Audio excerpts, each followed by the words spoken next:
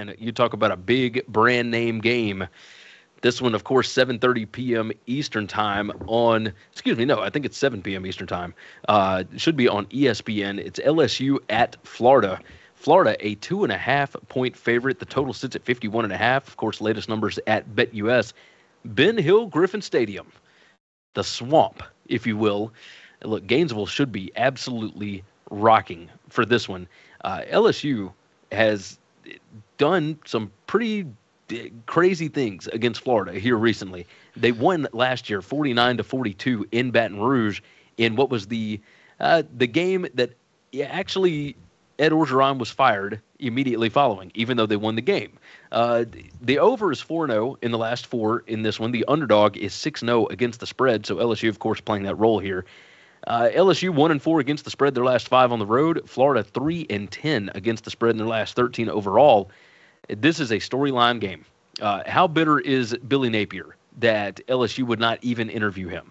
That's I'm very curious, and, and will that, of course, spill over to the players? It likely doesn't matter in the grand scheme of things. Neither team has been great. They're both four and two. The offenses are meh. The defenses are okay. Uh, Florida's defense may be the lesser of the two. Uh, Florida two and seven straight up, three five and one against the spread in the last eight against LSU. I mean the, the Tigers have done uh, just not whatever they want, but they have found a way to come out on top much more often than not. The quarterback Richardson has sure, uh, certainly shown moments, uh, but he, you know, the whole offense is inconsistent. Uh, they're number 32 PPA per drive, but they're number uh, 80 in success rate. The defense cannot stop the run. They're number 100 in PPA per rush allowed. And then on the other side, LSU's left tackle Will Campbell still having health issues. Uh, LSU's offense not exactly consistent. They're not built to come from behind, as you saw against Tennessee last week. They can't seem to get the wide receivers going. They're number 92 in PPA per pass. Uh, Kyle, I'm going to start with you here. Uh, LSU is number six in PPA per rush, which certainly uh, doesn't bode well for Florida's defense. Uh, how are you breaking this game down? I still think the LSU's best rushing play, though, is just Jayden Daniels scrambling on some busted play. I mean, you know, Jayden Daniels is still not a very good passer. He is very good when he's out in open field and trying to make guys miss. I, I said it last week. I really don't like teams that their best offense is a broken play.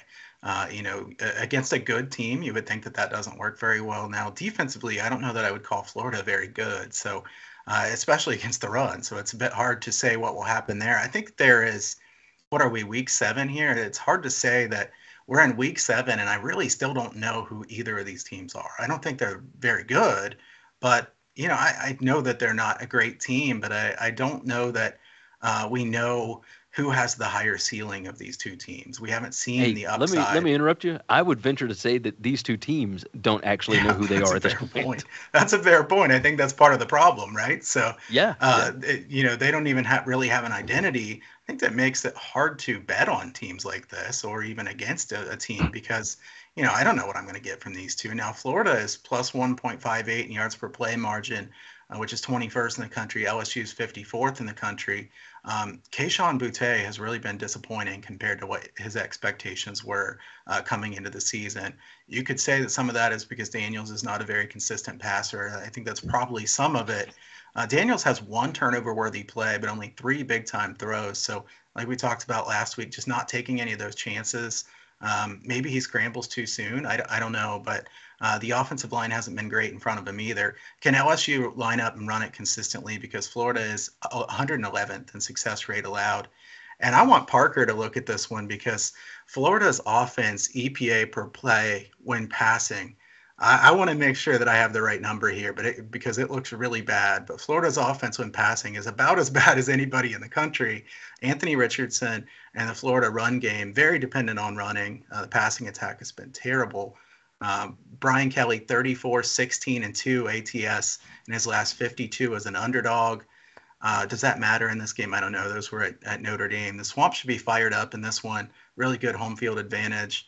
I really don't know what to do with this one. I guess I'll lean Florida, but not a strong feeling from me.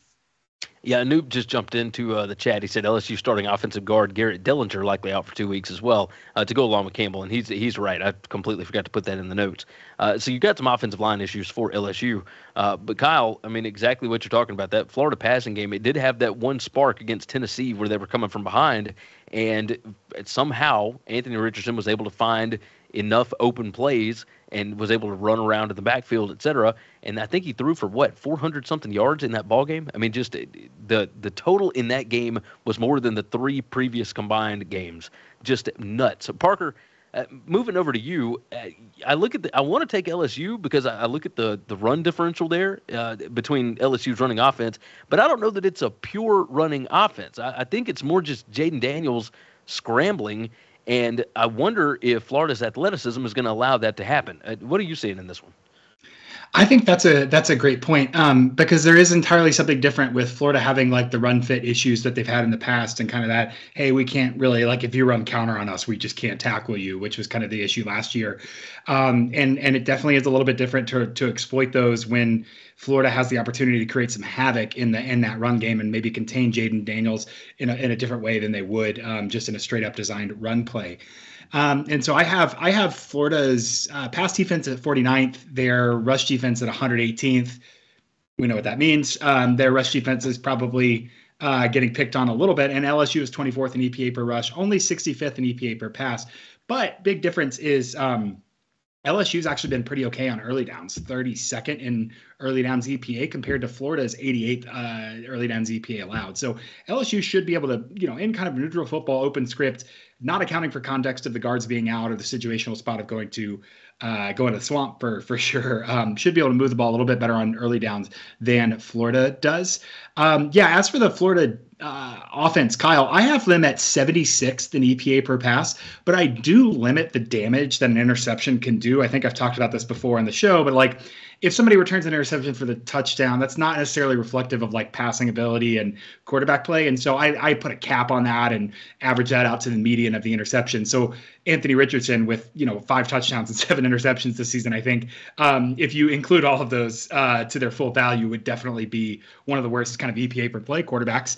But um, on, on average, I have them about 76. They're eighth in EPA per rush, and they're rushing uh, 6.1% more than the average team. That's 104th in the nation. So high volume rushing against an LSU defense that hasn't really gotten pushed around in the run game, 32nd in EPA per rush and uh, 59th in in rushing success rate allowed. So that'll be interesting to see. Neither, both teams are, are pretty bad in starting field position. So I wonder what kind of breaks and if a special teams play doesn't end up making the difference here, just because both of them have not really gotten advantages in special teams play overall. Um, I would be inclined to go with Florida State at home. My numbers, just without again, without any context, without injuries or um, kind of the the spot of Billy Napier and the quote unquote revenge game would slightly favor LSU, mostly based on the fact that they're passing pretty decently. Um, when you know when when Jayden Daniels can can uh, scramble and kind of create openness, but uh, there's an inherent ceiling on this LSU offense, so I don't know that I trust them or Florida. Uh, Jayden Daniels has an average depth of target of like 7.1. They they can't get the ball downfield to save their lives, so um, there, there's too much variance for me to think that there's a smart play in this game, um, just because there's so much nonsense in a rivalry game like this, and because both offenses really have been, you know, diametrically opposite week to week, depending on kind of how they prepare and whether they're feeling good or what they had for breakfast on Saturday morning. So I don't have a strong lean in this game. Yeah, I'm, I'm with you. Like I, I, I want to lean LSU, which by the way, uh, Bob in the chat called me out on it. I missed. Uh, Brian Kelly said this morning on the SEC coaches teleconference that left tackle Will Campbell got out of the hospital on Monday, practiced with the team on Tuesday. He is good to go. He's going to play this weekend. So now Dellinger is still out, but uh, but you do get Campbell back, so that's mm. a good thing, I guess. But th- there's still so much up in the air with these two teams that I don't know that there is a clear advantage as far as that number is concerned. So, uh, so no official play from us on that one.